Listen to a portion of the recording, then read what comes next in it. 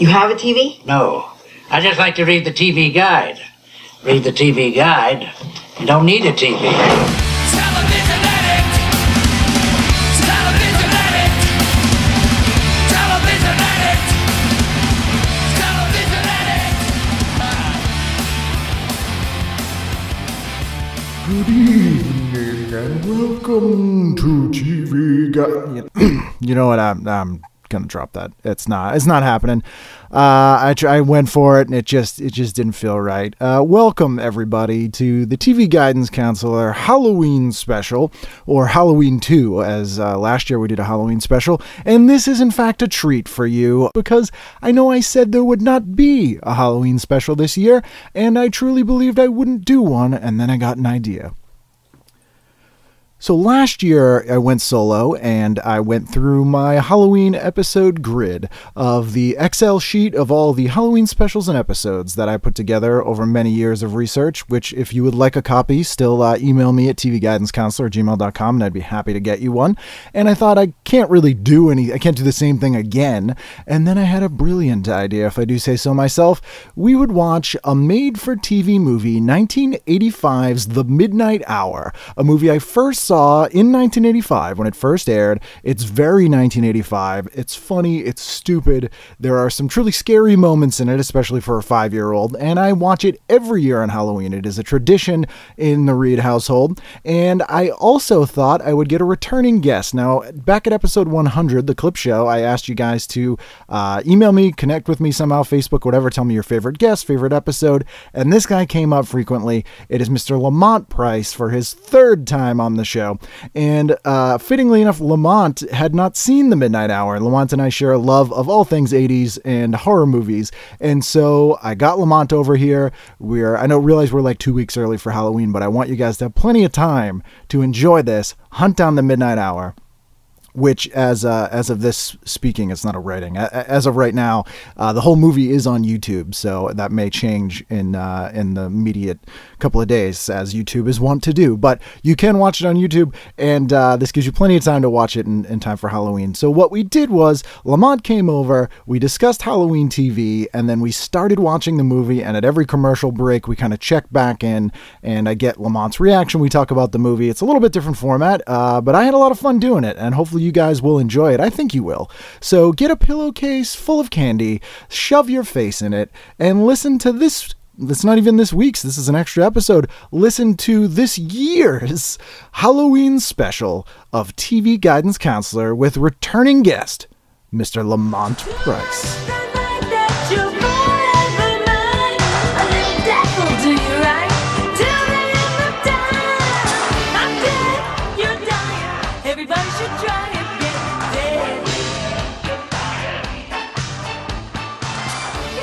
By popular demand, Mr. Lamont Price. How are you, sir? Hey, uh, this is easily the first popular demand I've ever been honored with. You've I never been a popular you. demand? I don't think so. I don't think people like me very much. I think you're a very popular repeat guest. ah, well, I'm glad to have been given the honor, and I'm happy to be back. This is definitely one of my favorite podcasts. Oh well, so- thank you, thank you. I know you're being honest because you said one of and not favorite. Oh well, listen, I got a few. I mean, I won't Yeah. name them. No, but, I understand. I understand. Yeah. And this, this, is, most definitely, one of many. without question, my favorite podcast. Tape north of Oh. Boston. Yes, take Yes. in Stoneham. Yes, I think that that makes sense. And this is the the last time we were here. I hadn't built this weird little studio room yet, so this is like slightly more couple professional. of the last time I was here, the studio was a little different. The studio was great. You didn't have the Charlie Brown Christmas clock Cuckoo clock, yeah. that I'm going to steal. That's fine. That's fine. Uh, we have a clock that we bought last Christmas. That's uh, Snoopy's house, and every hour on the hour, Snoopy comes out and it plays the Charlie Brown theme. yes. Yeah. And I would never get sick of it. Yeah, it, I thought I wouldn't. Weirdly, I haven't either. So it's uh, and it's and it's almost Christmas again. But it's Halloween, and that's why you're Yes, here. Uh, yes, you yes. share a love of, of horror movies and Halloween that is equal to my own. I would say. I start here's one for me. Like Halloween starts now for most of America. yeah, For me, somewhere around August 15th is when I give up on summer yeah. and I start feeling Halloween. Oh yeah, So Halloween for me, it's like I'm the guy who people go, "Oh, it's too early," and I'm like, "Never." No, it's, never, too early. It's never too early for Halloween. I want more and more, and I get sad. It's what October what twelve? Yeah, yeah, yeah. Right now, makes me sad to know that it's almost over. Yeah, we're getting there, and it's going to be done, and then Yeah. you got to go into Thanksgiving, which is not that fun. Mm. And Christmas is fun, but I then like Christmas time. Don't get me wrong, I love Yeah. all that stuff, but Halloween, it's the best. Halloween's the number one. So when you were growing up, what was your trick or treating? First of all, what what how old were you the last year you went trick or treating? Uh, so I assume you, like me, had a growth spurt early. look, the okay, there's a couple of answers to that. The last time I went trick or treating, legitimately, for my own personal enjoyment of trick or treating, I was like 15, maybe, Which is a little old. 16, which Yeah. is. But I had my younger brother with me. Oh, good excuse. So it was like, hey, but I had I also had a bag and I have to bring him, so I might as well get some candy. Um, and then my my younger sister got to the age where she wanted to go all the time. So I think honestly, and I didn't collect candy on these runs, right. 20 and 21. Okay. all right. Yeah. But did you take some when you went home to Of check their candy? See, my sister was adorable, still is, but at the time, I mean, you know, cute kid. Yeah. So she not only got candy, she got like money. Money? Yeah, she got money. Like People gave her dollars? money. Yes. That's weird. I don't think that's uncommon. I think if you have a cute kid, especially when she was like two or three, Here's some money? have a princess costume or something. Yeah. people would, oh my god, and they'd go into their pocketbooks and they'd give her money. I've actually never heard of that on Halloween. I'm telling you, Maybe man. I just wasn't a cute little girl. uh, I don't know. I mi- I was kind of a cute little girl, but not when it, adorable. we had we had families that instead of candy would give us pennies. Huh? Why? What's that about? I don't know. They were just like, I don't want to give you candy. Here's pennies. That was like the only time money came. Did you play. throw the pennies back at the house? I never did. I wasn't I like would've. a I wasn't like a Hell Night, Hellraiser, prankster type Halloween. I was very I was very serious about the trick or treating. Were you a pillowcase person? Yes. Oh my god. Listen, there's a there's rules to this. Yeah. If you go with a traditional trick or treat bag, I will not shame you. I will only assume that you're not experienced enough in Halloween Yeah. to understand. Plastic pumpkin. No. You had a. It was all mapped out. Mm-hmm. You knew what houses to hit. Yep. You knew what houses to try to avoid. You knew which houses sucked based on past experiences. Good and plenty houses. Yeah. Ugh, forget that. But the best house I ever went to was probably the creepiest house. And I, I grew up in Dorchester. Right. So like Dorchester's like an area where a few streets are amazing and they look very suburban. There's, Yeah. there's a couple of streets that you go. There's some big Victorian houses, like the old money Boston houses. Yeah. Then there's a lot of like triple decker, three fam, three apartments houses. But Yeah. then there's some like apartment building Well, you know, it, I mean, I grew up a lot in apartment buildings, but there were certain streets, houses or no houses, where Right. you just like, eh. But a lot of it, I'm saying this is aside from Halloween. It's not as bad as the news Yeah. makes it out to be. But this one year we're going, and it was me, my best friends, like some cousins, and my brother. And uh, two things happened. One is those Victorian houses, you know, were uh, a lot of white people lived in those oh streets. yeah. So I remember my brother, you know, at the time he might have been, I don't know, six, seven, maybe a little older. And I remember him saying at one house, he's like, man, there's a lot of white people on this street. What's happening to this neighborhood? and we still had, we hadn't gotten our candy yet from that house. And Right. they looked at it, I was like, just, just get, That, don't make this comment after we leave. Yeah, you gotta. But the next house we went to was easily the best house I've ever been to trick or treating. Okay. And the house I would never go back to. Because we go to this house, guy opens the door, trick or treat, mid 20s maybe. Okay.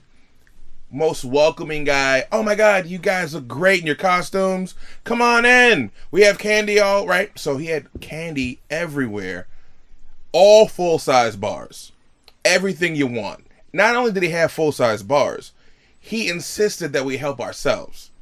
Okay. So we're just, you know. And then I look around the house a little bit and I see no furniture, right? And a bunch of other 20 somethings just kind of hanging out. And they looked very like, you know, join us. They had that look to them. culty. Yeah. And then the guy was like, man, you guys, we're new to the neighborhood and we just like making friends and meeting new people. And anytime you guys want to come over and hang out at our house, you are more than welcome. And my buddy Charles, he said, and I quote, "Fuck that shit." That's the correct And then he response took off. Yeah. And I remember after he said that, that's when it rang a bell that this Yeah. is not the place to be. And I grabbed like five more candy bars. Yeah. And I just I chucked up the deuces. That no one wants to be the Dudley of their friends. Nobody. You do not want to be the victim Wanna of be- Captain Towel or Neptune King of the Sea because a nice, friendly 20 something has Oh. invited you over whenever you want. Yeah. How many kidnapping episodes were on Diff'rent Strokes? Uh, they had at least two. Yeah. Well, a molestation and then the one where, um, where. Kimberly. and- oh, yeah, Kimberly. There's two. Yeah, Kimberly got kidnapped. Oh, and Sam. Sam got kidnapped. kidnapped. Which that one was the dad. They had to make the kidnapper sympathetic, and his son, who who apparently looked like Sam, had died, and so he kidnapped right, him that's and was fooling his wife, being like, "No, he's our new son." That's right. And she was like, ah, "Where did he come from? Don't worry about it." It was like he's a ten year old. Just take him. Yeah, Those Sam episodes were the ones where they tried to sort of like transition away from Arnold. because he wasn't cute anymore. Yeah, and he's like a photographer, and he'd Yeah. show up to give Sam advice. sage advice. Yeah, you know, I'm not Sam, taking like, advice yeah, from I'm not Arnold. taking advice from yeah Arnold no Jackson. way no way there was of course halloween in the in the city in the suburbs was the time that you heard all the the terror tales like that of this house has you know poison candy or like a kid died at that house and that kind of thing I read a I I saw a documentary on Netflix about the origins of that. Cropsey I forget exactly what it. It was like a. It was a few urban legends. yeah And one, the candy one was started because a guy's kid went trick or treating, and that happened to the kid. And it turns out Was the that dad, the right? dad poisoned his yeah kid. it was munchausen syndrome yeah, yeah. and so that kind of made it. Oh my god, we got to make sure when that's the only time it ever happened. yeah yeah but all of a sudden everybody's terrified of it Yeah. would your parents check all your candy would they insist on Uh, checking I, bel- I think so, but I I think after a while they were just like, this is stupid. Just, yeah nothing's gonna happen eat it. I would. I got uh, a local pizza place in our town had one of those big wall-sized maps of our city, Right. And so I noticed one day that they were getting a new one, and I asked for the old one. So I had a street-by-street map of the city, and that's what I used to plot my Halloween route. Okay. And our house was kind of in the middle of the town. So what I would do is I had my parents drop me off at the edge of town with a king-size pillowcase. I walked that side of town, stopped at our house, dropped that bag off, got a fresh bag, walked to the other side of town, which is where my grandparents lived, and then they picked me up there. And I would ration that candy till February, Smart. at least, at least February. Smart. One piece a night. Smart. Was there a candy that was like your that was your thing? Um, I mean, with candy, it's like Snickers, Twix. Okay. Whatchamacallits, the Oh, most yeah. underrated candy bar in the game. You rarely see a fun size You don't- whatchamacallit. Yeah. Uh, you know, the, like for me, if you don't want me to like you, Good and Plenty is a good way Yeah. to do it. Which are licorice Uh, medicine. Uh, Smarties, Yeah. I will throw shit at your house. Yeah. Um, I had a conversation about this the other day too. Somebody, I was talking to this chick who's trying to make me think that Mallo cups should be taken seriously. I don't think the Mallo cups Halloween. are that bad. They're not a Halloween candy. Well, first off, I don't like marshmallows. okay. All right, but there you go. Yeah. But see, that's what I'm saying. I'm not saying you shouldn't eat Mallo cups. My point was on the Super Bowl of candy. Yeah, you want peanut butter cups. exactly. Yeah. Yeah. You don't want Mallo cups. Did eat them ever- on eat them on November first. Yeah. I don't care. That's a that's a Thanksgiving candy. That- yeah, that's what I'm saying. And you know what I never liked is that maple candy. It looks like chocolate, but it's maple. I'm trying to, They'd be like in the shape of turkeys and pilgrims. I don't. Yeah, it was. ring a bell. You lucked out. You had a good childhood if you. How do you feel those. about um, squirrel nuts? squirrel nut zippers? Uh, the, those the yeah, rectangle. yeah, yeah. Those are made at Necco, uh, which is in Revere now. By the way, in- Necco wafers. No, no, No, those not are on terrible. Halloween. Not on Halloween. But Necco was based in Cambridge, uh, in East Cambridge and in Central Square, which is why it always had that weird sickly sweet smell when we were kids. If you ever went there, and they moved to Revere Because since Central then. Square was sickly sweet. Yeah, yeah. It, You would because there was a candy factory there, Okay. and you would get into Central Square and you'd smell and you'd be like, "Oh, candy," but then it had this like weird like after smell that you're like, oh, it was disgusting. Eat this. Yeah, but they made uh, squirrel nut zippers there, which are like a peanut butter taffy, basically old fashioned candy like Mary Jane's, mint juleps. Mary Jane's. Yeah. That's, yeah, and that kind of stuff. I did you ever have anyone who gave out homemade treats like candy apples or any cookies or anything like that? I don't remember exactly what was given out, but I do remember there were times where people would give you stuff in like their own bags that they made Yeah, and yeah. never touch that stuff. Never touch it. And which is so bad because I'm like, they did a nice, sweet thing that actually is probably more in the spirit of neighborly. You know, like oh, That's true. But then, but then I'm like, But no got- way. If, if I don't know the, if I knew the family, yeah, yeah. But if I didn't know them, they should know better than to give that. They should know Halloween. Yeah. You don't give that out No. without. You got to shake everybody's hand in the neighborhood before Yeah. you start giving out your own. Yeah. We made this today. Yeah. You can't. Not on Halloween. No. Go to the It's- store. yeah. Go to CVS. Get the some peanut Twix. brittle. Yeah. Get the peanut butter cups, and you come back. that's what me. people want. Yeah. What was the best costume you ever had? Okay. I can pretty much run down most of my costumes. No, where would you go? Was there a specific place you'd go to get costumes as kids? No, Hardware store, drugstore, whatever. Yeah, Walgreens. the, yeah. the old costumes with the plastic hard Ben Cooper or would, Collegeville. Yeah, with the trash bag body. Yeah, would, Yeah. he would rip and you'd stop bleeding, but you didn't. You you trudged. Oh, on. they'd cut your face. Yeah, all the time. It'd split right now, and yeah. you couldn't. You didn't cry. You were like, I, I gotta, I gotta stick it out. The worst part of those masks was the rubber band, the the Mm. little the little bump you have right above your ear. Yeah. They would just dig into that, and that was that was terrible. Yeah. I was Superman, first grade, okay. Second grade, Collegeville, Ben Cooper, plastic mask. all that. Yep. Yeah. And I, I remember first grade. I have very little recollection of second grade. I don't know why, but first grade, I remember I went as Superman to Mm-hmm. the you know had the party at school, Yep. and some kid came in with a mask that I couldn't handle. It was It too scary. It was creepy, and he chased me around the room, and I'm running from him in my Superman costume. It's not very super. And for the rest of the year, they called me Super Chicken. Nice. nice. I I, think I, I it's deserved warranted. it. It's warranted. I deserved it. yeah. Yeah. So I was Superman. you came as Superman. Uh, you left as Clark Kent. oh, definitely. I uh I I was the Hulk one year, same kind Yep. of costume. Yep. Um, I liked being a vampire. That was fun. That's a fun Va- one. vampire was Makeup? fun. Yep. Yep. Junior high, Freddy Krueger. Yeah. Classic. All right, now listen to this. Halloween day, I think I was in seventh grade, right? The school had the seventh and eighth grade class go to the auditorium, and they showed us Nightmare on Elm Street three. Yeah, and you've mentioned this to me before. Yeah. This is insane. It's ridiculous. Eh, The school clearly didn't care about us. yeah. Inner city school. They sh- and that wasn't the first movie they showed us that was a little question. I mean, aside from the violence, there's breasts all in that movie. Oh yeah. Well, how about this? One year they showed us like you know how the end of the school year there's that week where you still have Just to don't go? care. Yeah. They showed us RoboCop. They showed us uh, uh, uh, Return of the Living Dead. Right In school? in school. Now, now to your breast comment, I've seen the movie before. Yeah. it's my favorite zombie movie of all time. it is very good. And so the part where Trash gets Yeah. naked in the cemetery. Tonight, Tonight. we'll make love to it. Yeah, hottest zombie I've ever seen. Uh, the teacher goes. The teacher says, "No, no, no," and fast forwards through that part. And I, I'd seen it, and I'm like, Yeah. "No, that's where the titties are. That's the best part. that's where the titties are, Mister What do you Moulton." think? This is a fucking costume? yeah. Trash taking off her clothes again. Here's it. Here's and then the and then it, and then they, you know, There's not actually full frontal in that scene because she's wearing what they call the Barbie doll device. you mean on the Yeah. the crotch? Yeah, they actually have a latex piece that makes her crotch look like a Barbie doll because they didn't want to get an X rating. You know what? They could have just used the crotch and said they did that. Yeah, but I have uh, I, Linnea, Linnea Quigley. Linnea Quigley. I'm sorry to say this, but I have photos in a in a Fangoria in a Cinefantastique magazine of them like making that appliance.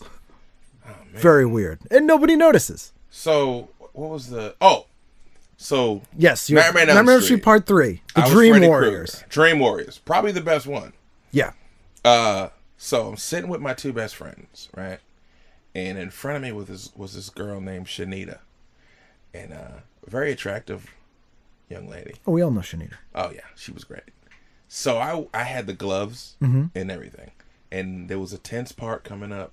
I looked at my friends like, and they were like, "You gotta do it. Yeah. you gotta do it." And on the dent, I did ha like that, and she hit the ceiling. And then when she came down, she turned around and she just started punching me Yeah, for like ten minutes. I think and that's I never felt response. a thing. Yeah, I'd do it again.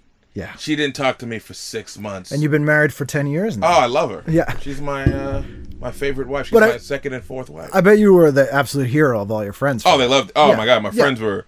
Yeah, well, she was punching me. I was laughing so hard. I didn't hear. I didn't feel anything. Well, the other thing is in seventh grade, physical contact is physical contact. she's touching me. She's Yeah. kissing you or punching you. It doesn't matter. She's touching me, baby. So to the to the sort of conceit of this episode that I that I thought we'd do something new because I did a Halloween special last year where we just talked about you know things you can watch. Right. Is uh, we're gonna watch a movie and we're gonna kind of check in on the commercial breaks and, and get your reaction. This is a movie made for TV movie.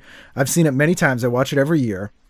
It's called The Midnight Hour. It's from 1985, and I was surprised actually that you had not seen it. I had not seen it, and I went when you told me about it. I looked up looked it up online, and the cast is just It's outstanding. it's amazing. LeVar Burton, Yes, Shari Shari Belafonte. Belafonte. Yeah, it's it's an all-star cast. So TV movies are a lost art. I think that they were a huge deal. And actually, one on the old Secret Menu show, I used to do my live show. We had a thing called TV Casualty with things that scared you on TV, and Lamont did one for Don't Go to Sleep. Don't Go to sleep. Yes, with uh, which was a terrifying made-for-TV movie. For me, that ending was oh yeah, it's a, a ghost child sort of crawls up the bed on this woman, and you think she's dead. she says, "Hi, mommy." Yeah. And then my parents are like, "Lights out." Yeah. I was like, "No, no." There's no. a lot of terrifying made for TV movies, especially in the 70s and early 80s. You have uh, um, Don't Be Afraid of the Dark and Bad Ronald and, and all these movies, but they were all aimed at adults. And the Midnight Hour that we're going to watch is is sort of a it's midway between sort of Return of the Living Dead and The Breakfast Club. It's like a teen comedy, but there's some truly terrifying. Wait a minute. Who else? Like, I saw some other names on the cast list. Oh yeah, there's people you'd recognize. I think um, uh, John Aston is in it. Yeah. Okay. Um, there's there's some there's some names and, and faces you'll recognize. It was uh, directed by a guy who went on to still works today, directs a lot of episodes of like Under the Dome and Lost, and uh, the guy that wrote it wrote a lot of made for TV movies, uh, and, and also wrote uh, one of my favorite Christmas made for TV movies, A Smoky Mountain Christmas with Dolly Parton and Kenny Rogers, which does feature a witch in it. Smoky. It's a Yes. song, right? Smoky Mountain Christmas. Mountain Christmas. Did you have so we uh, often talk about like Halloween specials and stuff. Right. Are there things that you need to watch every year now that it's not Halloween if you don't watch, like Great Pumpkin or Great Pumpkin is probably anything Peanuts. Yeah. Peanuts. The, Charles Schulz. Let me tell you, the man knew me before I was born somehow, Yeah. because he incorporates jazz in a lot of his Mm-hmm. most of his works, which I love. I love. I'm a big jazz fan, and he hits the holidays hard. And from what I know of Charles Schulz, uh, I've somebody t- tweeted me once that kind of knew Charles Schulz yeah, and said that basically Charles Schulz was Charlie Brown yeah, and that he was and oh and they tweeted me a picture of him as a kid i don't know if i still have it but that was definitely charlie brown yeah. yeah, like right down to the alopecia. right down it was it was insane it was Yeah. insane he was a very depressed dude Yeah. Although I will say there's really diminishing returns once you get past Charlie Brown Thanksgiving. So obviously, well, okay christmas I go back and forth between Christmas and Great Pumpkin on what I like best, but I think Christmas always ekes out. So Christmas is the best. Yeah. Great Pumpkins Pumpkin. too.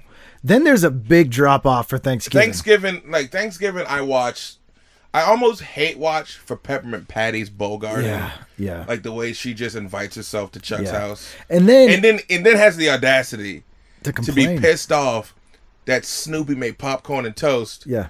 when you invited yourself. And a dog made toast. A like dog that's made impressive. toast. yeah. Like we're overlooking Snoopy. yeah. Yeah. And then it's Easter Beagle is it just No, gets worse no, from no, there. So so I like to think only the first three really exist and I kind of pretend that the others never happened. But I love It's Great Pumpkin. That's one I always watch. Did you have a ritual as a kid like uh, TV 38 here in Boston which was our our um it was an independent affiliate. Right. They for years would do Friday the 13th Always. marathon on Yes, Halloween. have to. Movie Loft. I have I have Friday the Thirteenth uh, on my DVR right now. You're going to watch it on Halloween? I'm gonna watch them up until Halloween and on Yeah, Halloween. which is strange because it's it's not very Halloweeny. It's a summer No, horror it's flick. Yeah. summer. It's a horror movie. And I wonder if people around here associate it with Halloween because we had those marathons more than anything else. That's like that was what you watched on Halloween. If you and that might 80s, that might have something to do with why I love it so much Yeah. on Halloween. But I'm a horror movie. I love horror movies in general. Yeah. Halloween. Hallow- the original Halloween. The Halloween original is Halloween fantastic. is my favorite horror movie of all time. It's perfect, and I love Halloween three: Season of the Witch. I we've talked about. I This. love it, and it's a much more Halloweeny Halloween movie. Uh, I'm gonna. I'm gonna. I I think I watched it last year, and I don't think I hated it as much as I.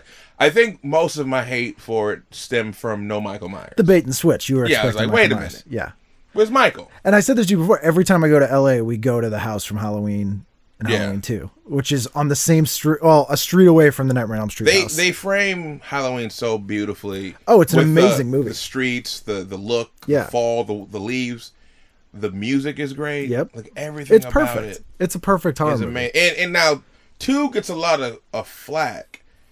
I think the first forty five minutes of two is amazing. Oh, the continuation because it just Yeah. keeps going. Yeah. And I love Donald Pleasence's uh, Yeah. Doctor Loomis, Who gets I mean, increasingly more and more Oh, insane. he's hilarious. Yeah. You don't know what death is. Yes. Evil. Uh, but that's when you find out Laurie's his sister, and it starts getting a little. It gets crazy. a little Yeah. ridiculous. Right. Uh, I love that. Uh, Night of the Demons is a favorite. Takes place on Halloween. If if you have or haven't seen that one, that's a classic. Okay. Uh, anything else that you like? You absolutely have to watch for Halloween. Or as a kid, was there something that you had to watch aside from Friday the Thirteenth? um, for me, the movies are great, but I also love sitcoms. Yep. And I judge sitcoms by how they uh, treat Holidays holidays. Mm-hmm. And so, Night Court every year. every year. Roseanne was great. Mm-hmm. Any holiday, uh, any Halloween episode of a sitcom, especially the cheesy '80s, '90s sitcoms, I'm on board. Even if I didn't like the show, Oh, yeah. I'll watch your like I watched Halloween episodes of Reba. Yeah, I'll, I'll never those. watch Reba. The George Lopez show. I, I, Yeah. I never saw the George Lopez Halloween one, Yeah. but I'll watch it. Home Improvement's a show that I hate. They did a Halloween episode They every year. I always did a. Halloween episode. Yep. Love them. for Step it. by Step had some Halloween ones. Uh, Family Matters. Family Matters had several. Stevel and Stevel, too.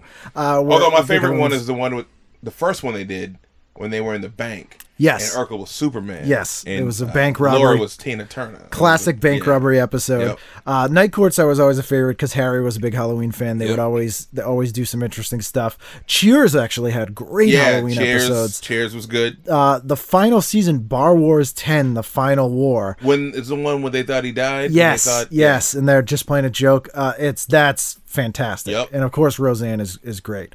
So uh, we're gonna go start this movie, and the way we're gonna do it is uh, on the commercial breaks. We'll check back in with uh, with reactions to this movie. So 1985, made for TV movie. This was a huge deal when this aired. It was I was so excited for this. They really put a lot of promotion into this movie, and it was a big deal. This was the Starring Reading Rainbows. LeVar Burton. LeVar Burton. This was pre Star Trek The Next Generation, but post Reading Rainbow. Uh, the same year, on the Wonderful World of Disney, they premiered their own made for TV Halloween movie, but it was only an hour long called Mr. Boogedy. And people kind of fall into the Mr. Boogedy or Midnight Hour camps, and I'm staunchly okay, see, I've never Hour. seen Mr. Boogedy. Yeah. Now, was Mr. Boogedy about the boogeyman? Sort of. Okay, because only reason I say this, my Seinfeld knowledge just Yeah. kicked in, and there was an episode where Elaine said the boogedy man, Yeah. and I wonder if that was somehow. From Mr. Boogedy. Some- I think it's a regional thing like pop and tonic and soda. All right. It's like the boogeyman, because in England they say the bogeyman. The bogeyman. Yeah. Uh, but Mr. Boogedy is at golf. decent. Exactly. The Uh, bogeyman. The Bogeyman. But it's only an hour. It's an hour long special. It was on the Sunday Night Wonderful World of Disney. And the following year, they did a sequel called Bride of Boogedy. If you watch them back to back, it's kind of like a movie, but Midnight Hour is a true movie. Okay. And it reminds me a lot of The Lady in White, if you've ever seen that, which is fantastic with Lukas Haas and uh, and Lukas Haas, there's yeah, a name. it's a good movie. All right, so we're going to start this 1985's The Midnight Hour, and we will check back in with our reactions at the first commercial break. Okay, we're back. We watched the first 15 minutes here. Uh, it's a commercial break. Before I say anything, your, your initial reaction. I don't know who came up with this. I mean, It doesn't matter who came up with the idea. Yeah, it's a pretty cliche plot, I think. It's just like let's just do something. yeah.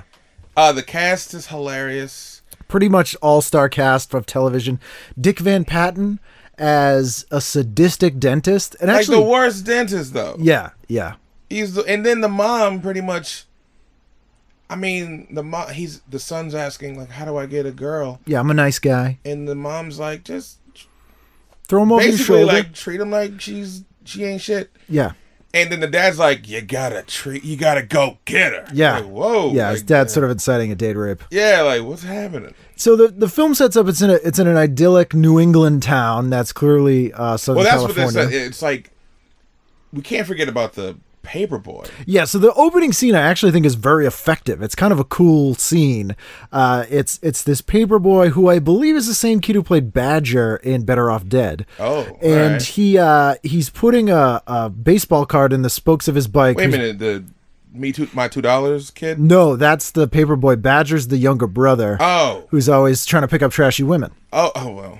Yeah, uh, that that would have been around the same year. This is from '85, and so uh, at, at the corner of Elm Street, uh, Yeah, actually, Elman Maple, Almond Maple. He's uh, putting this baseball card by a player I'd never heard of. Bob uh, Robert something. Wagner. Yeah, something No, like that. a- that's it's not the right? actor. I'd, I'd have a Rob Wa- and he Bob couldn't Wagner. be a Yeah. good baseball player 'Cause he's spoken He put him in the spokes. But he screws up and his finger, he cuts himself on the spokes. and like anytime I cut myself, the first thing I do is put a Halloween mask on. Yeah, he puts on a Don Post skull mask from Halloween 3 with a with a beanie on top. It- it's fall. Yeah, and then the opening shot, and then you get a, a cut in, a really quick cut in of the Midnight Hour with Wolfman Jack Yeah. says it, who, who has to be involved somehow. Wolfman Jack, he's in a ton of Halloween episodes, weirdly, uh, and Is so that- is that weird though? well, he's not really a Wolfman. He's just He's hairy. not a wolf man, but okay, you associate Wolfman with Halloween. I guess, And yeah. that voice kind of. Ah, the Wolfman. Yeah, I suppose. Uh, so he's the he's the the DJ, and it's his minute hour, and then the whole opening scene is like a three minute montage of this kid delivering papers all over the city. Buddy, just bloody papers. Newspapers. Yeah, including to the police chief, Kurtwood Smith, who is Yes. the the dad from that 70s show and also in RoboCop. RoboCop. Yep. That's why I'll always love that guy. Yeah, I like to think he's the same guy, but just a couple years in the future. You know what? The characters are pretty much the same. because when RoboCop takes place in like 1997 or something, Does it really? The Yeah. future. That's right. The future. so maybe he's just like a maybe he's just like an older version of Red from that 70s show. you think you think Red was became a cop later, Yeah, or maybe he's maybe Red's the retired that guy? yeah, maybe, yeah. With, there's a timeline someone could put together here. A cop. Yeah, I mean, he's a cop, gangster. whatever. So then we're introduced to the rest of the. We have our main characters, the nerdy, bookish guy. Yep. Uh, we have Cindy Morgan from Caddyshack and from Tron, who's the hot substitute teacher. The hot teacher. We get the two hot girls in class, Shari Belafonte, Fonte. who beautiful, and Dee Dee Pfeiffer. Who I don't I don't agree when you say she looks like Cameron Diaz. See, I find a real Cameron Diaz thing I she's got going find on. Cameron Diaz attractive. I think I think Dee Dee Pfeiffer is better looking than Cameron Diaz, Okay. but they got a real. Have you ever seen the movie Vamp with Grace Jones? yes, but a long Yeah, Dee ago. Pfeiffer's the main girl on that. She's very Cameron Diaz in that specifically. That's well worth revisiting. That's from 1986, so it's uh, around the same time here. And uh, Cindy Morgan actually weirdly looks quite a lot like Michelle Pfeiffer. Who's in this thing? So it's a uh, day. I think she Halloween- look honestly. I think she looks better than Michelle. Yeah, that's true. She's a very, very pretty woman. Still looks great today. Does a lot of conventions and stuff. Looks pretty much exactly the same. And so there's uh way too old high school kids. We got Peter DeLuise uh, before 21 Jump Street.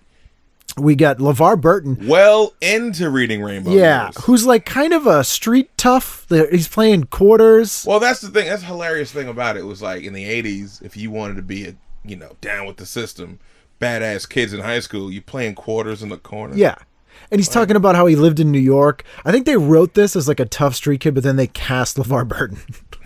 it's not going to work. I don't buy. I don't. I don't buy anybody's toughness who tucks their shirt in with Yeah, no belt. yeah. Like, I don't believe in that. Yeah, that's. I think that's. You're not fair. beating me up if you have your shirt tucked in. Yeah. Like as a badass, I'm pretty sure I could beat you up. I think you're probably right. Yeah. And so then the, the nerdy character Phil, whose dad is Dick Van Patten, the sadistic dentist, which I have to mention, there's a scene in the dental office where he's just torturing this woman, and she torturing specifically asks him for Novocaine, and then he says no.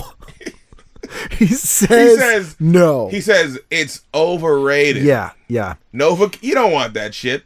I when I was a kid, my dentist told me Novocaine was for quote fairies, and No. he wouldn't give it to us. So we had we had. You can sue that guy. Well, I think he's dead now. What but uh, you- yeah. Did yeah. you? Did your parents know he said this? to Yeah. Oh yeah. And what? Did, They were just like, just put up with it, and so all the cavities I had filled were there's Novocaine no. free. See if it that had to be the moment when you said adults are full of shit. Pretty much. I think I probably hit that before. They're that. just human beings who are trying to get by. Yeah, they don't know what they're doing. Yeah, they have no idea what they're doing. Have I ever told you the the fluoride incident with this guy? No. So you know you'd get a fluoride treatment as a kid, and it was, the fluoride was always awful. Like it was always tutti frutti or grape. It was gross. So I'm maybe ten or eleven years old, and I I said, "Hey, do they have unflavored fluoride?" And he makes a huge. He goes, "Oh, the princess wants unflavored." And he goes this whole thing. And he goes, "You want me to special order you some?" And I was like, "Yeah, that sounds all right." Are you 100% sure this dude was a dentist? I, he he was in the back of a truck. No, he wasn't an actual dentist. I don't. That dude does not sound like a dentist. He to me. learned in the Korean War. I think I saw a story about that dude in Unsolved Mysteries. Yeah, you may have. He was Bigfoot. Uh, and so I'm like, great, I'm going to get this unflavored. Six months later, my next checkup, I go in, I walk in, they're like, Little Miss Reid's here. We got you special package. And they make this big deal out of it, right? So he puts the fluoride in my mouth and it's Yeah. really bitter, and I start gagging. And he goes, Now you know why they flavor it. And I'm like, instead of just saying unflavored's really bitter, that's why they flavor it, he special ordered it and waited for six months just to have this payoff. I like it when they gag. Yeah. Ugh. He was a real awful person. So yeah, sadistic dentist, and then we're set up with the backstory of this movie. So it's in a place called Pitchford Falls. That's supposed to be like a New Englandy town, even though you can see the mountains of Well, California. they definitely set it up. They framed it like, here's a town where nothing bad can happen. Yeah. And when it does happen, you go, nothing. We never thought anything like that Right. could happen here. very small town America, like Gremlins kind of opening Yep. sort of thing. Except they have a witchcraft museum, which is very strange. And the reason is this: this main character Phil does a he's supposed to do a report on uh, Halloween with local history. So we get the whole Sam Samhain, spirits of the dead, the, Celtic the history, legends. yeah, The legendary demons. legendary demons of Halloween. also the name of my band. Legendary Demons, awesome band. Yep. Uh, but the local tie is that his great great great great grandfather defeated demons brought to Earth on Halloween by the great great great great grandmother of Shari, Belaf- Shari Belafonte, who they feel the need to point out was his slave, uh huh. um, who was the most powerful witch on Earth, and uh, just introduced demons to the city. Not and so powerful when she couldn't get out of that slave work. That's true. Yeah, yeah, the most I'm powerful. a witch. Shut up, bitch. Just get out there. You pick the, clean this now. Yeah. Uh, that is a good point. Like Yeah. what? What kind of witch doesn't go, you know what? And does the bewitched nose twinkle? Yeah. And makes every white person slaves. She just goes, you know, I'll put up with this for a while, but I, I've had enough. On Halloween, I'm gonna release all the legendary Yeah, I'm a demons. fucking witch. Yeah, it'd be funny if there was one final thing that was the str- like she was like this slave thing's okay, and then he's like, hey, make me a cake for my birthday, and she's like, fuck this, that's it, demons. like that was the final That's how straw. you know being white is the shit because they had a, a witch yeah, was like, you know, their can't- slave, I can't do anything. slave witch gotta do what is they want me my to do. heavy metal band. Yeah, slave witch. yeah, that's although that sounds like a really really weird sandwich. Great. Um, yeah, so that that part doesn't Slave make witch. slave yeah. witch. Can you Yeah. put some more pickles on my slave Yes, witch? uh. I'd like this. like uh, mustard on my yeah, slave I like this sandwich to work for me. Um, yeah, they, it doesn't make a whole lot of sense, but the history is this guy's relative and her relative were at odds. Somehow, this guy put At the demons back to hell, and we understand now what what has happened in the past. Peter DeLuise is sort of the bully. He's like the football jock. Well, he's bully. got the, the Letterman jacket in Yeah. the eighties. Yeah. yeah, yeah. And LeVar Burton's also a bully, which again I'm not Somehow. buying. Yeah. They somehow convinced this kid to go to the Witchcraft Museum and steal the period costumes off the wax figures to wear at the Halloween party that night. Now, first of all, I'm calling bullshit on not having a costume on Halloween day. Yeah, you you already you, Yeah. you wait till Halloween day and you have no costume. Yeah. I don't want to hang with those people. No, they, they haven't planned. They're too impulsive. So they steal the costumes and they steal a chest and they almost get caught. So they just run out with it. And at this point, before the commercial break, they decide to go try these clothes on in the cemetery. Well, first off, when they're stealing the chest, they drop it They pick it up. Yep. They they're screaming. They don't know what they're gonna do next. Yeah. And then when they get in the car and drive off, LeVar Burton says, "Clean getaway." Yeah, that is my favorite. And then they crank the Midnight Hour by Wilson Pickett. It, oh, it just happened to be on, by yeah, the way. perfect. Wolfman Jack Clean introduced it. getaway. Clean getaway. I'd like to think Burton ad libbed that line uh, and was just like, "This is bullshit." Yeah. Yeah. He's like, "Let's just. Are we done?" Yeah, can I just have my paycheck? And I love for- Halloween, but I'm not hanging out in the goddamn cemetery. No, I wouldn't hang out in a cemetery in Halloween either. No, and it's not that I'm creeped out. Like, do you do you believe in that kind of stuff or like supernatural things that creep Oh, you out? sure. I've seen okay. ghosts. All right. Where have you seen ghosts? Should I say that? Yeah, you can say it. Uh, You're not the first on the show to admit they've seen ghosts. I saw my grandmother when I was a kid. really? Yeah, after she passed. Right after, like immediately after? Probably within the year. Because I've had people say that, like they're in bed and like their, you know, recently passed relative has like come to visit them and that kind of thing. Yeah, I, you know, I, I I'm a I'm a guy who believes that there's more out there than Okay. what we can explain. So Sure. so cemetery stuff would creep you out, not just like it seems like. I kind of a mean, I don't know if it even would even creep me out because I know that there's more out there. Right. I'm just I'm not. I don't want to hang out. Halloween's usually kind of cold. Yeah, I don't want to go hang out in a not cemetery. hanging out in the Yeah. cemetery. Fair enough. All right, well, let's get back to the movie. We'll see what unfolds. What could possibly happen? They've stolen witches' ancient artifacts, and they're just trying them on Hanging the in cemetery. cemetery. Nothing's gonna happen. Possibly go wrong. Nothing. Nothing. Clean getaway. Clean getaway. Wow. So a, lo- a lot happened in this in this segment between commercials. here. Uh, yeah. yeah. A whole lot of uh, insanity ensued. Yeah, so they really up the ante. So they're in the graveyard as we left them before, and we get a real Evil Dead thing going on. They open this chest that they stole, and and the curse just happens Yes. to be in there in a I- scroll. Of course. Because if you're if you're a witch hunter, and you, you know, you stop an invasion of all the legendary demons in death, All of them. all of them, and you have a witch and she used a certain curse to do this, you would want to hang on to that.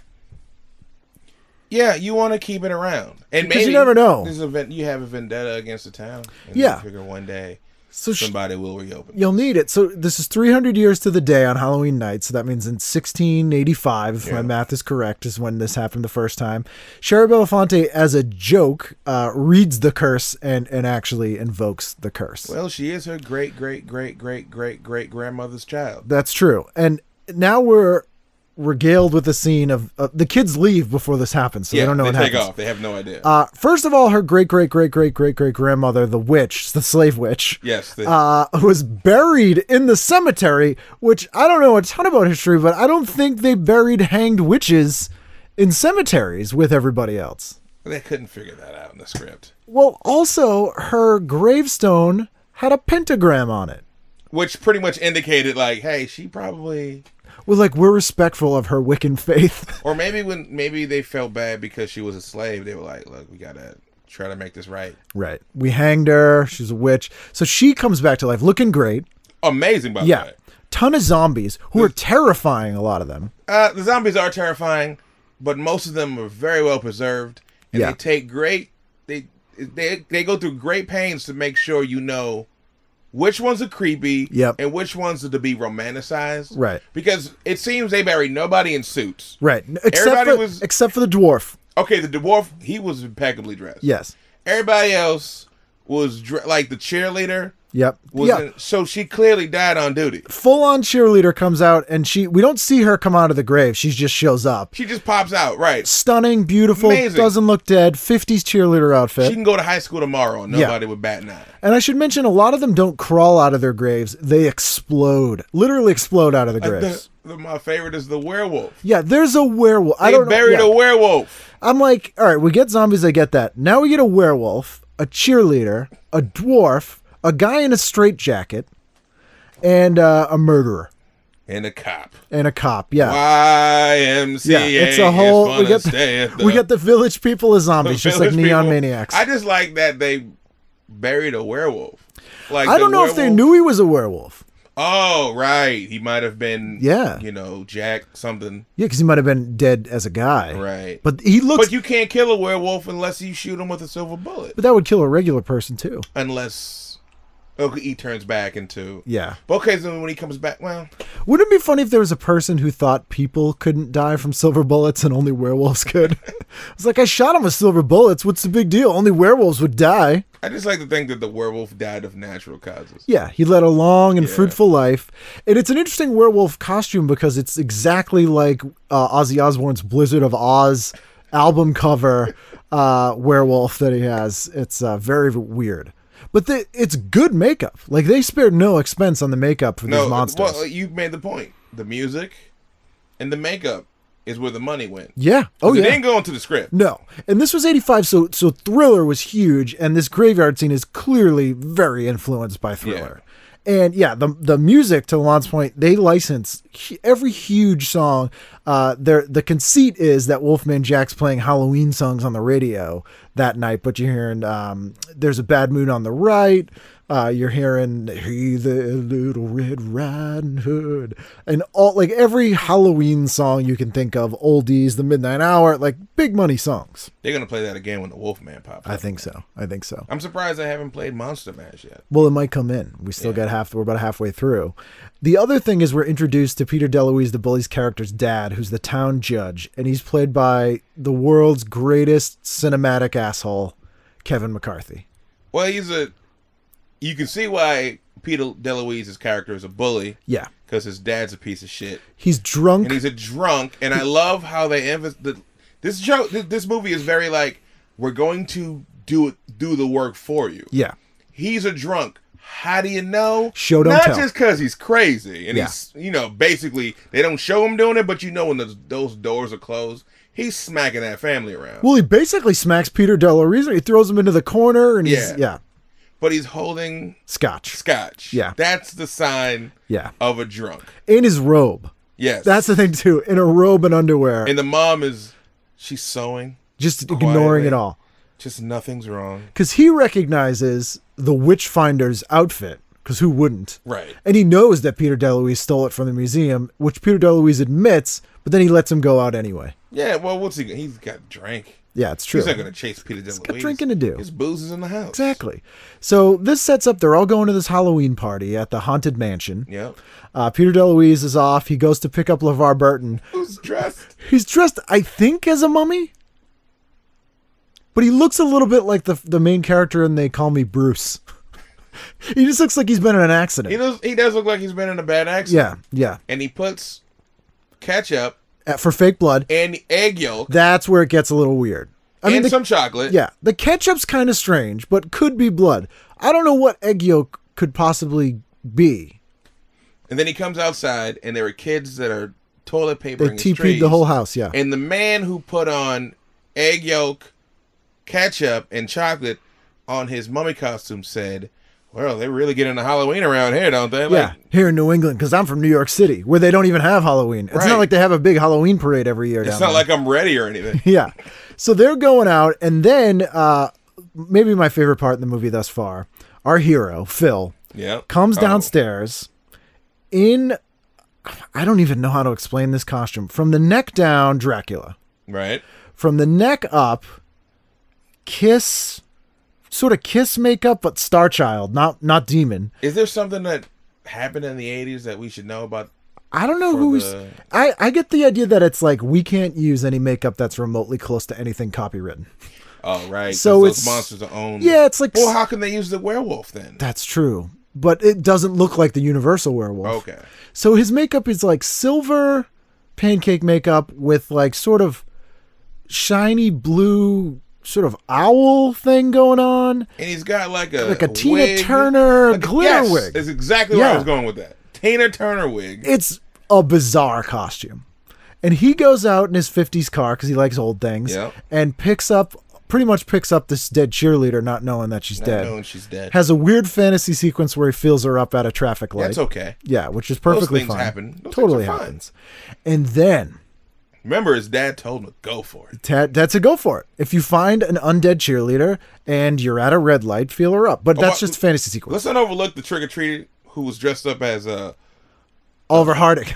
Yeah. Yeah, yeah, I mean, in '85, yeah, yeah. kid didn't give a fuck about. But that was the go-to fat kid costume. they were like, you have to be out- 85? yeah, well, who else in '85 would you dress a fat kid up as? Oh my god. Uh, Stay Puft?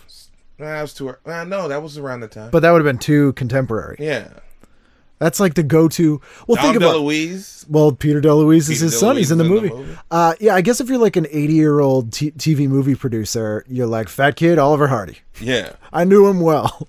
But they show trick or treating at the dentist's house, and he's giving out extra candy because he wants kids to have to come back with cavities later, back.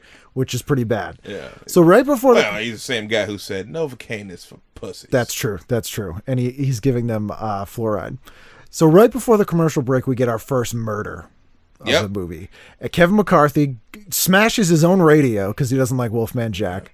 Goes out to take the garbage out drunk, and it's the longest walk to the garbage I've ever seen in my life. I honestly think he was too drunk to realize that he had his own garbage cans. Yeah. and he figured, oh, they're over here in the neighbor's yard. I'm just gonna put it here, or maybe he's trying to hide stuff in their garbage. Stuff in there. yeah.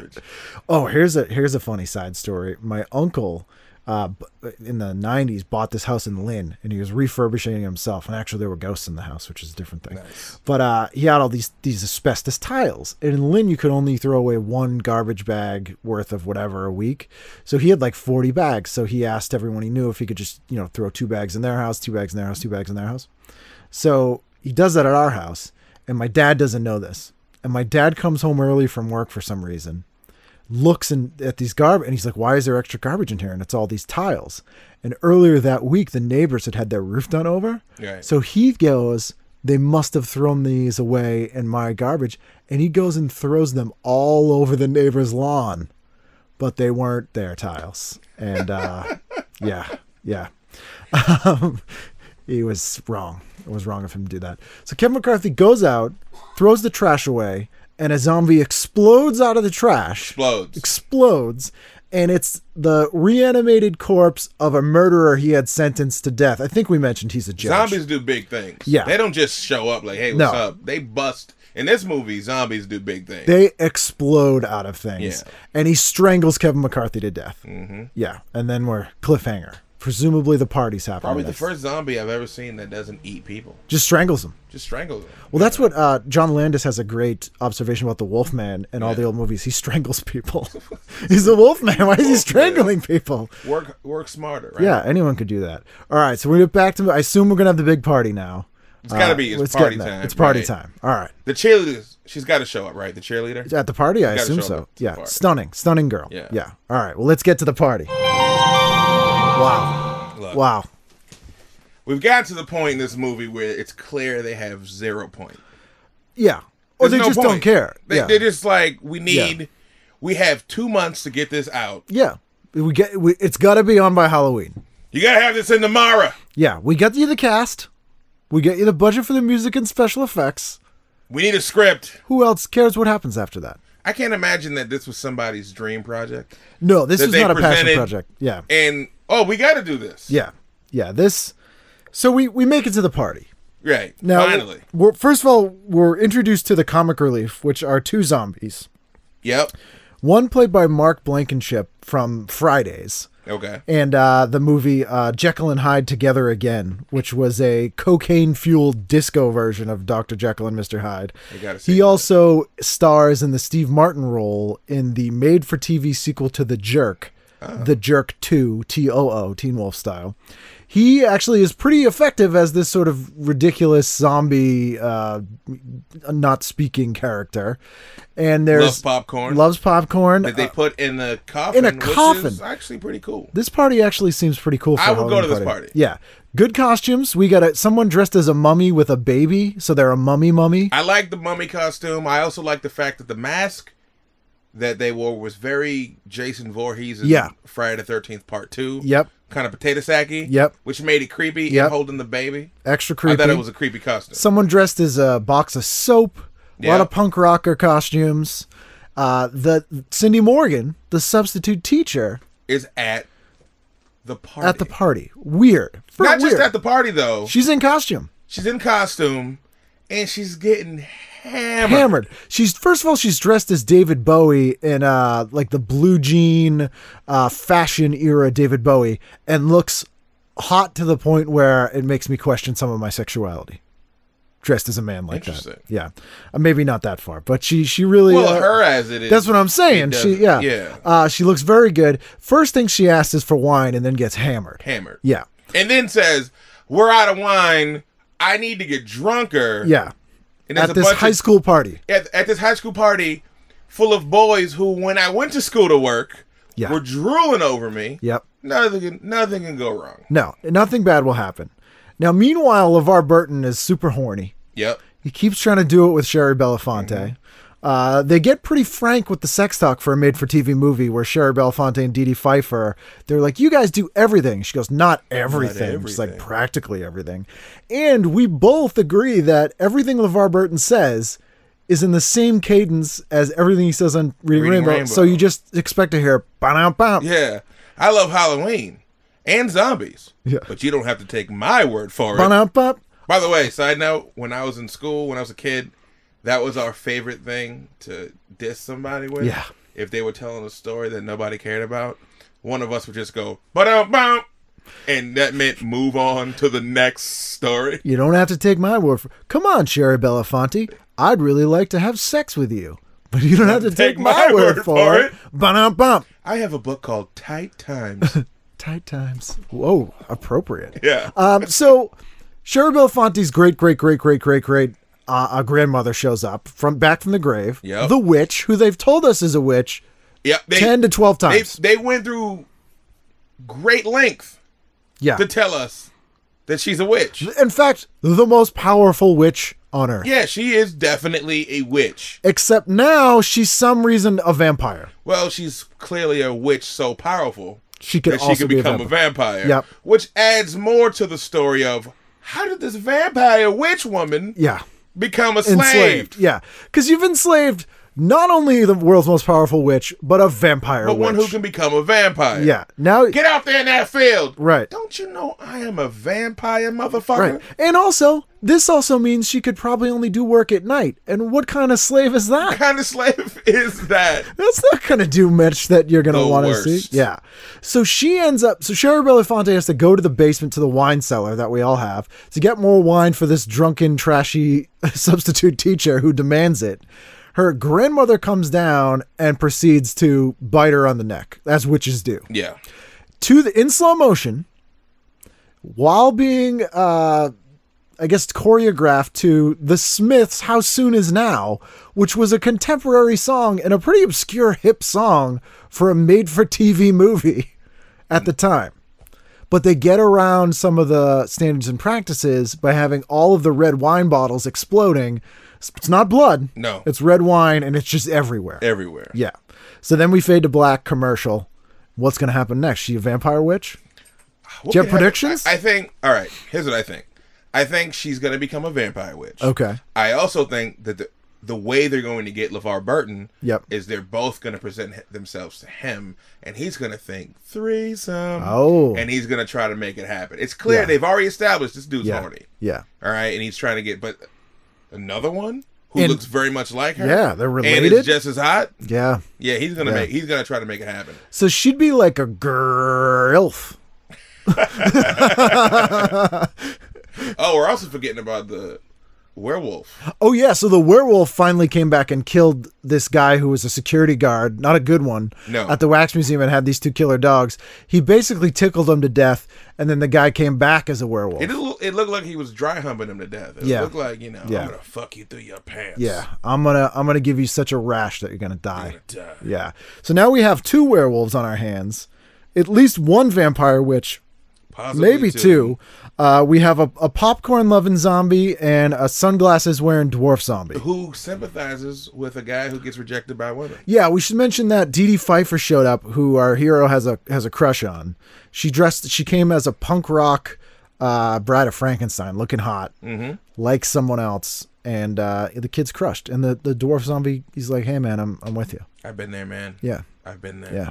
Let's So I- hammered together. I mean, I know what happens next, and I don't even know what's gonna happen. I next. also feel like maybe going even further toward the end there. I feel like that when everything is sort of set back to normal, yeah, I think that the dwarf zombie's still gonna be like chilling, Just like the hanging end of Con Air when somehow Steve Buscemi got away. Yeah. and everybody cheered, even though we forget the fact that the reason why he was in prison, Right. is because he was a child molester, kidnapper, or Yeah. murderer, or something like that. Yeah, yeah. I think this dwarf zombie at the end of this movie is going to be the one zombie who sticks around and is just the cool drunk dwarf zombie. He's like the Spuds MacKenzie of dwarf yeah, zombies. Yeah. yeah. He's gonna be like, oh, that's that's uh, Steve. It'd be funny if this was all a setup to have a TV series like Alf about this dwarf zombie who lives with this dentist and their crazy family, and they always Ah! gonna feed him people's brains. All right, we'll see what happens with dwarf zombie. We're going back to the movie. It's midnight hour. All right, we're down to the last thirty minutes here of this movie, and it was getting hot. Yeah, uh, cheerleader came back Yeah, and she's all about. she's hero. super horny. She's yeah, Yeah, she gets him to go to make out point with her. but before that, she tries to get him in a drag race. She does get him in a I mean, drag she does get him in a drag race. Yeah, race. yeah. And now we know why she's dead. Yeah, first of all, she just gets in this car with this dude he doesn't know after they have a conversation about suicide, which is the first thing you say to pick up a girl. I mean, how that's I a classic pickup line. That's how I get them. They want to go to the malt shop, which doesn't exist anymore. It's a multiplex. So then she gets him in a drag race with some grease balls. Cigarettes. That's They're smoking. Yeah, she gives them the look. Cigarettes and leather jackets is how he got laid in the fifties. He blows him out of the way with his old car. The guy doesn't even start No, his car. He doesn't no. even know what hit him. He, do- he doesn't even know what a drag race is. No. In fact, I don't even know that they knew they were drag racing. He was just like, I'll do anything for you, Toots. Yeah, and she's like, "Get the top down," and she's hanging out of the top of this car, just like wooing and screaming like a maniac. She's maniac. standing up in the car and she's Yeah. like, oh my God. like she's clearly a lunatic. I'm like, wow, this chick. Yeah, now I get it. Yeah, now we know why she I died. didn't know why she died. So then they have a slow dance in the middle of the street to some song, and she asks him to go to make out point with her, and puts on lipstick, Lipstick, bottom lip. just bottom lip. And she looks at him with, you know what's going to happen. Yeah, it's very erotic. Yeah. They get to make out point. Only one's there. They start making out. She's all, "Let's get in the back seat." I've never made out in a car. I don't know if I'd be into that. Um, I, you know, I've done some car stuff. Done car stuff? It seems, I've un- done car it seems stuff. uncomfortable. It's, but you're not thinking like, that's not what's on your mind. It's like, well, know. like I'm as a dude, especially at an age when you do car stuff. Yeah, because you can't do. more You have no other place to go. Where are we gonna? Yeah, I'm not even gonna question I guess. the yeah. location right now. I guess that's true. I really want this car stuff. Yeah, I guess we're we're making fun of this kid for for not picking up on the signs here. But if you're like 17, Yeah. some hot girl in a cheerleader outfit Right. is all coming on to you, you kind of overlook the craziness and in the car stuff. Especially when she dabs on that lipstick. Lower lip, Bottom lip lipstick. let's get in the back seat. Yep. And she says, "Let's get in the back seat." Oh yeah, she's all about it. I'm sorry, I missed a major thing here. She says, "I'm cold. Put the top up." Yep.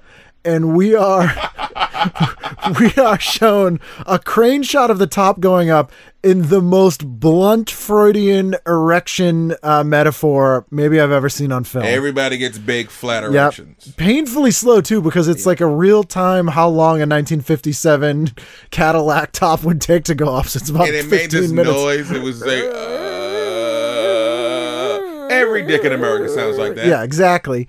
They're getting at it hot and heavy, and you're like, it's gonna happen. Yep. Then of course, what happens? A werewolf. A werewolf a comes in. werewolf shows up. Yeah, What's the name of this movie in Europe? werewolf cockblock. Werewolf Cockblock. Yep, that's what it was called for European markets when it played those shows. Sold out in every theater. Huge movie. It's the biggest Werewolf movie in. Japan. He rips through the top. They hit him with the car. He falls into the water, and then right before commercial, we get a slow mo. Just the guy, the werewolf, freaking out. Thrashing, just losing his mind. When really he shouldn't be the one who's mad.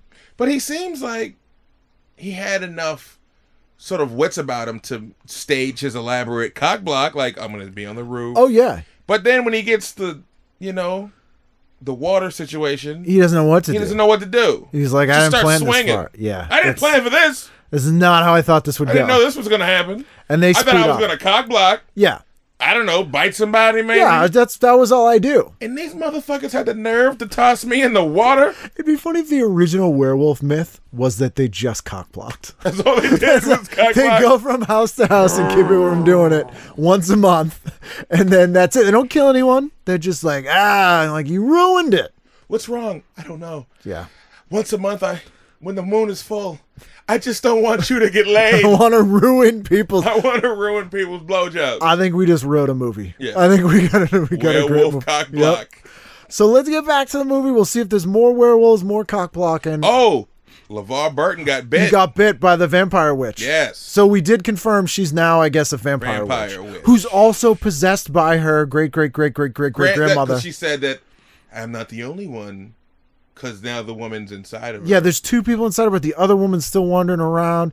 It's very complicated. So LeVar Burton Oh. was essentially having a threesome. It's a threesome with one person. Right. And uh, uh, Cindy Morgan, the teacher, oh my God. super hammered. Yo. She starts coming on to Peter DeLuise. So I asked you. I said, "Who's she dancing with?" And you Yeah. were like, "Okay, that's the guy she came with." I think she brought that guy to the party. enough. Yeah. but Peter DeLuise comes over, high school student, Yeah. And taps the guy in the shoulder and gives him the, "I'm cutting in." Yeah. Have you ever And- cut in? I've never seen I've anyone never cut, cut in. in. Yeah. And the guy who came, Yep. and if he came with this teacher, Yeah. I would imagine he's an adult. Yeah, he should be. He just went, "All right, cool. Uh, them's the rules. Them's the rules." Yeah. You know, Yep. and then the teacher's like, "Yeah, I'll dance with you." Yeah, and she's like falling over and and you know, in Peter DeLuise's defense, he might be an undercover narc who's Very actually in his mid twenties. I also, I, I, I, uh, I'll raise you that he doesn't need a defense. Yeah. He's doing what we all wish we had the balls That's to true. do. If- if We've all had a hot Yeah. teacher. I had a hot teacher when Yeah. I was in high school. Everybody who did. was amazing. Yeah. And I remember there was one kid in class who had the the first week of school or the first day of school. She was my creative reading uh, writing teacher, and Yeah. later my drama teacher. Creative reading would be a Yeah, great creative class. reading was another class, and uh, we thought she was a student. Yeah. I think she was like 23 or 24 years old. We were like 15. And one of my friends was like, Yeah, I'm to try this. And then he walked up and she basically told him the truth. Yeah. And then he kind of came back with his tail between his legs, which we called getting sent home back in those days. Did you go bump bump? Ah, right, Did she right. just say that to him? He was like, "Hey, maybe you bump bump." Well, if she showed up drunk at a party dressed as David Bowie, he might have had a shot. He's Peter DeLuise has a shot. I think he's in I with a don't know how shot. it was going to turn out. well, but the he's werewolf, definitely got a shot. a werewolf might cockblock him. yeah, Werewolf's going to show up. You might get that silver bullet cock block. So let's see. We have uh, one more commercial break and then the conclusion of the midnight hour. Midnight hour. Wow, that I I think this was the best segment of the movie. This The this party just part. kicked up. The Yeah. party just picked up. Business just picked up. We, I mean, we'll we'll go to what happened at the beginning of the segment, but it just ended with no lie, a full on Music video. music video choreographed called a song called "I'm Dead, You're Dying," sung by Shari Belafonte. This is because of the video. This movie now goes into that category where I like to say I would like to be in that movie. Yeah. Not be in that movie. I want to be in that world Yeah. where that movie is happening because I want to go to that party. That's now the best party that's ever. I want to go to that party. Yeah, there's a full on like thriller style choreographed dance. I'm dead. You're, dying. Everybody, come on and try it. Get dead. What you say? Get dead. I think it's get dead. Yeah. And which- the the full pa- the entire party's dancing. Yeah. in unit like Oh, it's chore. It's It was choreographed. choreographed. Yeah, yeah. And uh, you know, you add another hyphen to that vampire witch. yep, vampire witch Choreographer.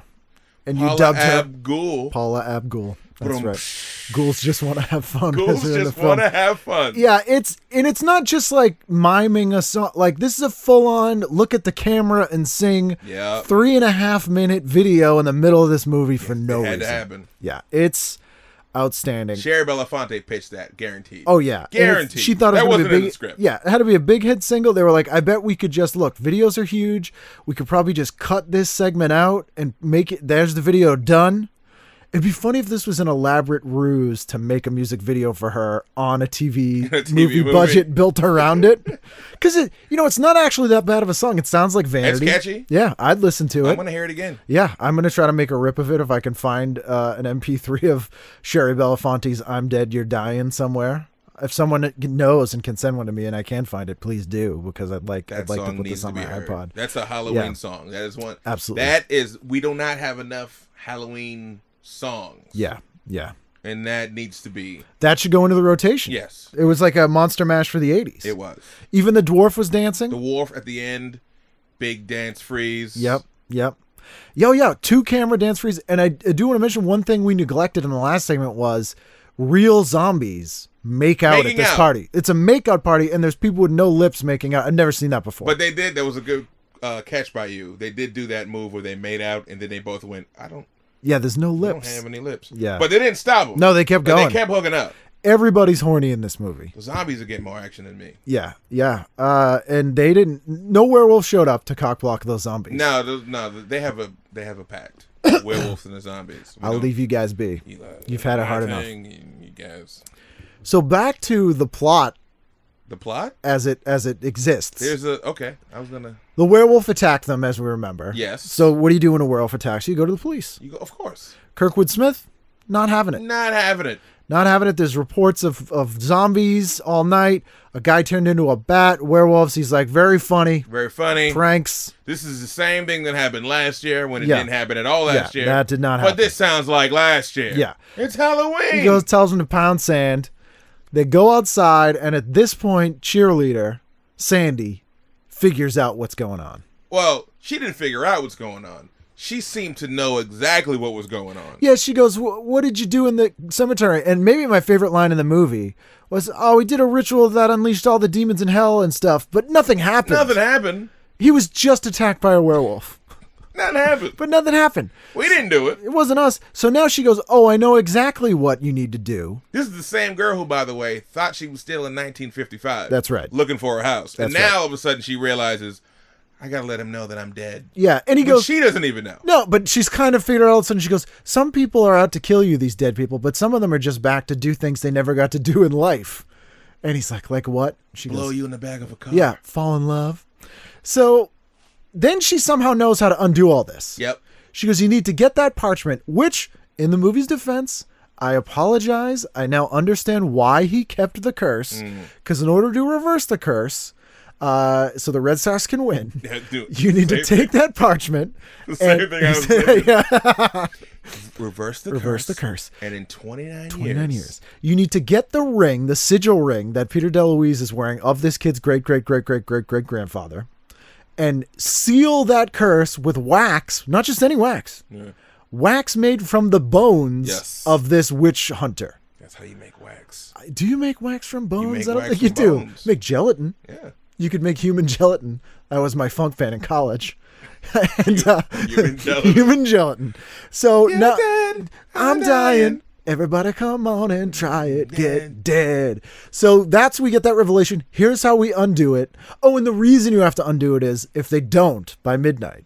Yeah, it gotta be. They, eh, they're here forever. Yeah. Anyone who died is going to be alive forever, and anyone touched by evil will remain So why evil would she want to reverse this?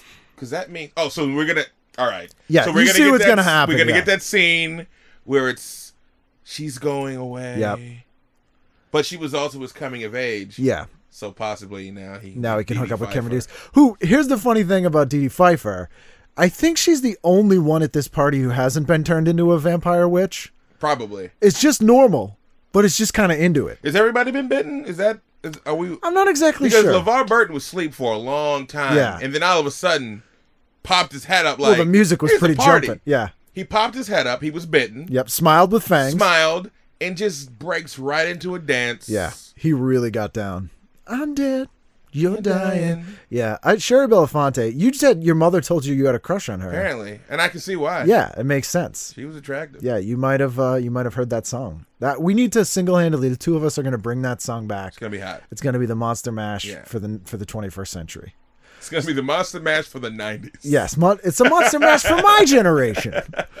So here we are at the climax of the movie. This is the final 20 minutes. I don't know what's going to happen. I ha- I also still think that even when they reverse the curse, The little guy's everybody, the little guy somehow there's gonna be a, a, like a the credits roll, and then he's somewhere getting drunk. Yeah, he's popping out with a big beer. chicks. Yeah, yeah. I think you might be right. I you think be that's right. what might happen. All right, so we'll see if you're right. We're gonna go watch the conclusion of the Midnight Hour. Midnight hour. It's all over. It's you seem relieved and disappointed. Uh, the ending. All right, so only one of my predictions happened, which was the girl Yeah, going back to the dead and having that heartfelt "I love, I love you, you. Yeah, even though I've known you for twenty minutes." yeah, yeah. So, you know, he has to go get the parchment, Yep. but they do this drive through town, and it's it's it's hell on earth, I guess, essentially. Uh, Everybody's dead. Yep, Everybody's, dead. a zombie. The Yep. whole town is dead except for him. Yep, I- his date's even dead. The date's dead. The Yeah. date's been dead. We should mention Peter DeLuise, uh, the his dad, Yep. the drunk judge. D- drunk judge Yep, comes driving Kevin up. McCarthy comes drunk driving up, and he goes, "Ah, he's probably drunk," and then his own dad strangles him to death. which again is probably something he's used to. Yeah, yeah. And they need to get the ring off of Peter DeLuise, so they go back to the party after driving through the Hell on Earth. Now, just to describe the Hell on Earth, I think you summed it up very well, in that it's a suburban idea of, Right. Chaos. You had uh the milkman was Yep. dead and his contribution to the mayhem Yep. was pouring milk out. Yep. Perfectly good milk. Perfectly good milk. Yep. On top of his truck. Yep. This is me being I'm gonna you know Fuck this. Fuck everything. Yeah. A mailman burning, burning mail. mail. The police chief, who didn't believe them earlier, Might have been some bills in there. It could have been bills, maybe even a check. Social security checks for old people. And uh, Kurtwood Smith's hands on fire. On fire. And Yep. he turns around to show you. yep. I don't know what that symbolized, but Werewolf rips a fire, uh, Fire fire, hydrant hydrant out of the ground. Oh. Yeah. So they somehow get. Oh, and I'm all over the place here. He makes silver bullets. Our hero here, Phil. yes. Which is actually kind of a clever part of the movie because at this point they used to make fillings out of silver back in the 80s. Still, uh, I had some had to be replaced from my evil dentist with because they were cracking. But so he makes silver tipped bullets using his dad's dental equipment. Mm-hmm. But his dad shows up as a crazy looking zombie. His dad's a zombie with the dental equipment. Yep.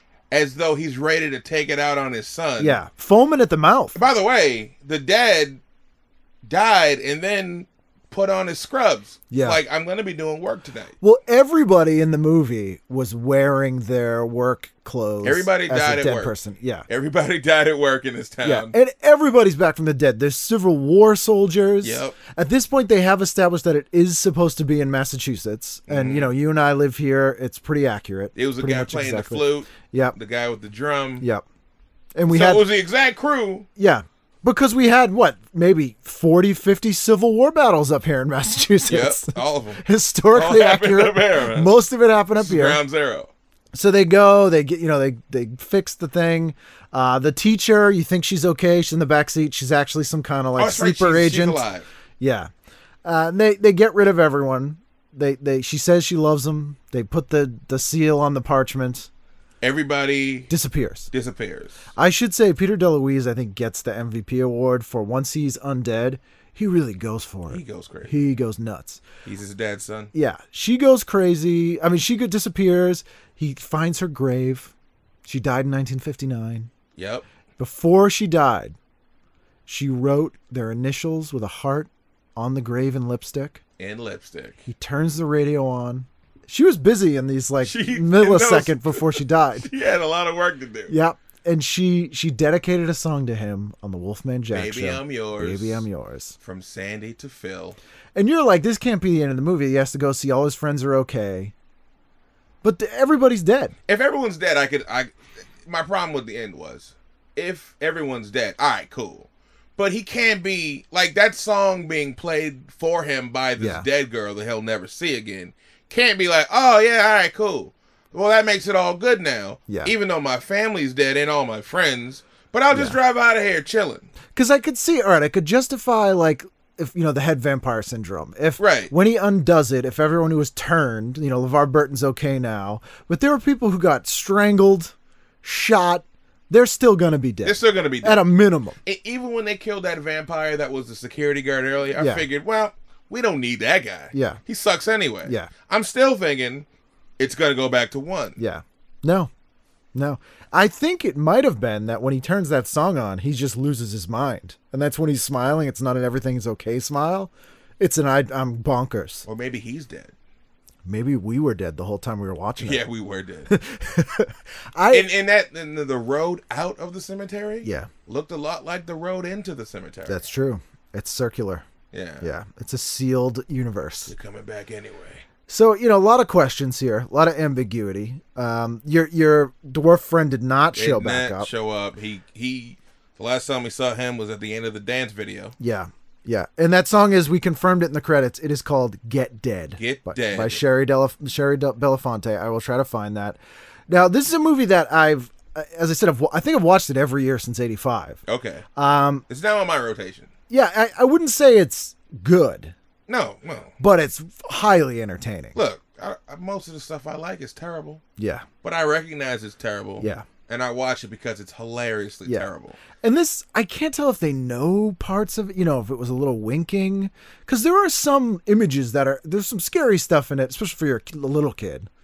Uh, you know, TV scary. Yeah, The dentist stuff, some of the makeup scary, but it's not uh, terrifying. There's some there's some humor in just there. the dentist alone. The dentist If you're a alone, yeah. It looks great. It has the Get Dead video.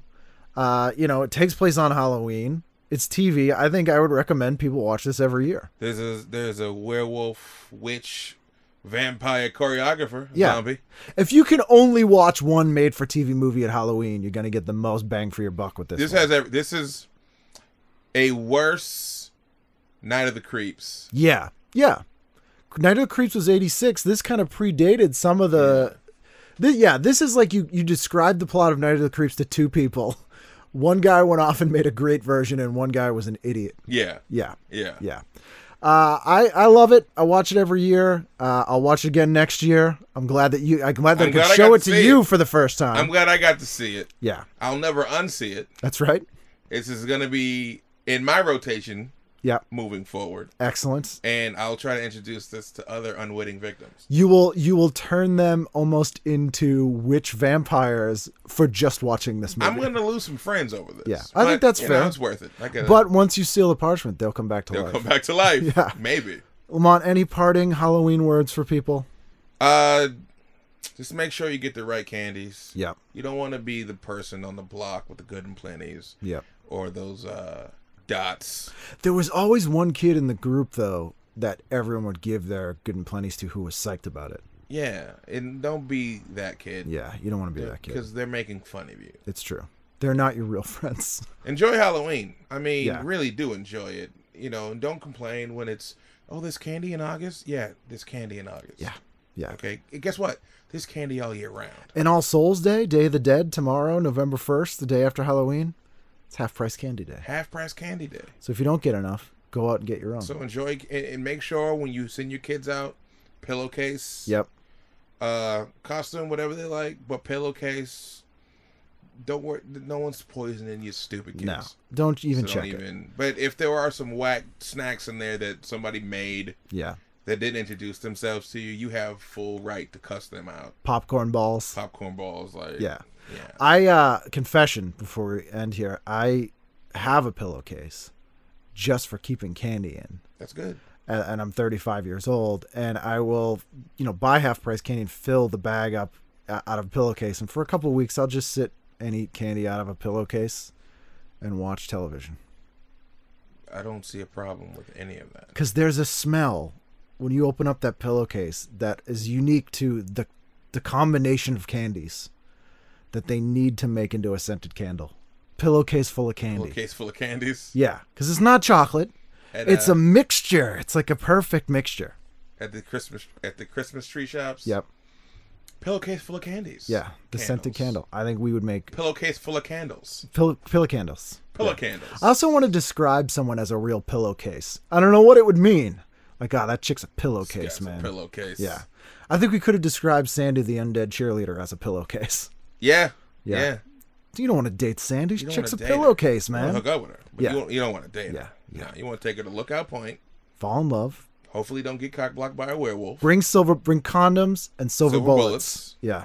I Yep. think that's I think that's the one bit of advice we've taken away tonight. Always have condoms and silver bullets. Also, the name of my band. Condoms, and silver and Silver bullets. Bullets. Yeah, they're a little more like a prog rock band. Yeah, they they're were. pretty good. They're pretty good. Well, Lamont, happy Halloween and Happy thank you so much for Thank doing you for having show. me. I had a great time yet again. Quite welcome. Oh, baby, I, I see you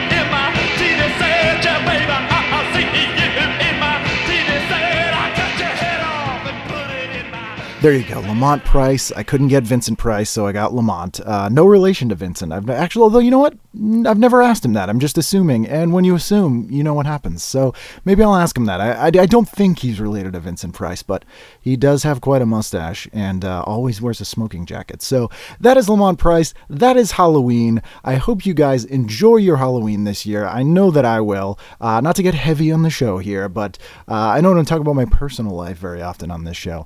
But uh, it's been a it's been a rough year for Ken Reid uh, this year, uh, this summer. My mother passed away uh, under fairly tragic and sudden circumstances that I had to deal with directly uh, in true Halloween fashion. And I sort of just wrapped all that stuff up, and I was very, very much looking forward to the fall in New England and the stretch between Halloween and uh, Christmas, which is a which is a fond, happy time in my world. So I needed this Halloween, god damn it, and I got it. Uh, and then I'll be out in uh, L.A. at the end of January and into February, so you can you can see me out there.